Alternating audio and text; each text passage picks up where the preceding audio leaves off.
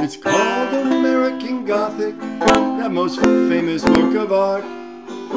Grant Wood knew what he wanted, and he knew just where to start.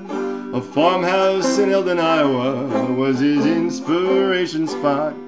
To paint the values of the old Midwest was his big artistic shot.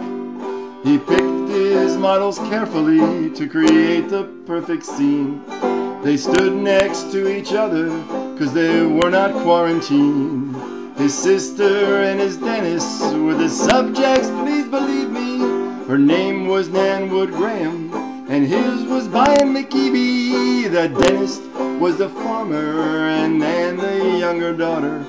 If you're not listening to me now, I really think you oughter.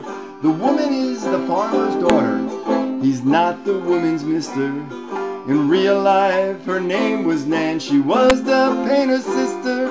It's an oil on board creation, size 30 by 25. It's on display in Chicago. From my house, that's quite a drive. Her dress had matched the curtains, a stylish kind of dame. His overalls and pitchforks had shapes that were the same. A window with a pointed arch called Carpenter Gothic style reflects the mood of the artist's view that made so many smile.